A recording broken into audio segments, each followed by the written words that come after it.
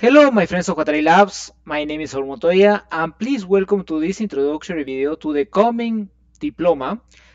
on applying groundwater modeling with ModFlow and ModelMuse. We have designed a program that range from the sessional topics in flow and transport modeling to apply cases as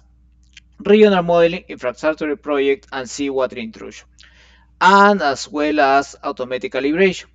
The objectives of the programs are that the student learn the ModelMuse environment and uh, working with ModFlow 6 mostly, but we are going to cover other ModFlow versions, and to develop criteria for the conceptualization, grid design, and selection of boundary conditions, to develop strategies for data collection, model construction, calibration, and analysis, and to develop also the criteria for the analyzing the water balance and managing the tools for exporting um, model, up, model outputs and to perform manual and automatic calibrations. Okay, the core, the diploma is based on six models, where the first model is groundwater modeling with ModFlow 6. If you have taken this course with us, uh, please write to us because actually you are not required to take this and you have a special price uh, special price.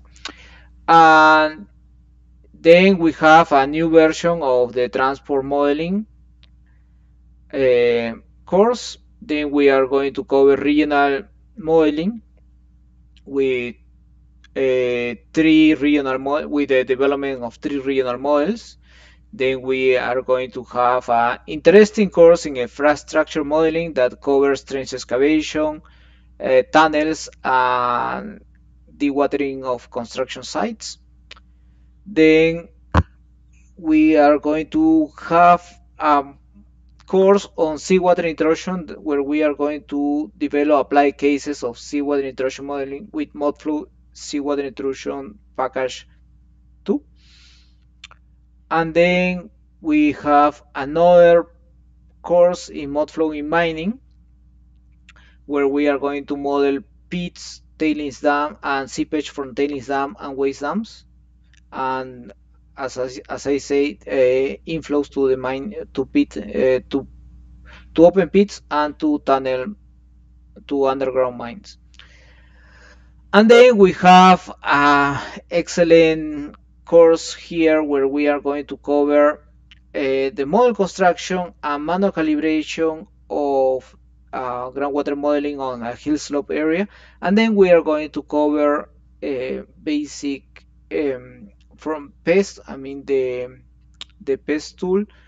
for from basic um,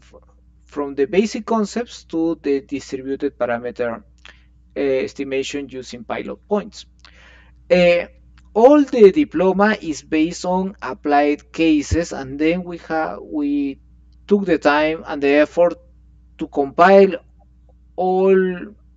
the examples that were most related to actual projects. So we hope that you can join us because and then you can take the advantage of taking this live because uh, the next time that we are going to